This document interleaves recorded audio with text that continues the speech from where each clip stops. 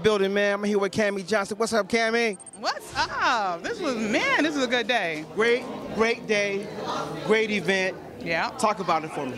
Well, I can tell you that today was really about the community, and, and that was what we set out to do. And so we made it about the community, we made it about the kids, and I'm, I'm, I'm really just thrilled that the community came out and showed up.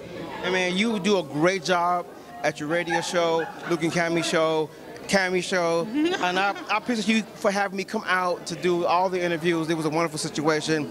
Um, the city loves you guys. I love you.